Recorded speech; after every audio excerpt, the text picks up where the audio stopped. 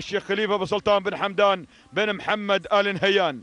تهانينا والناموس هذا الحضور الميموني والسامي الذي تشرف به هذا الميدان من سيدي معالي الشيخ سلطان بن حمدان بن محمد النهيان مستشار سيدي صاحب السمو رئيس الدولة رئيس اتحادي سباقات اللجن شعلة نشاط الحمر.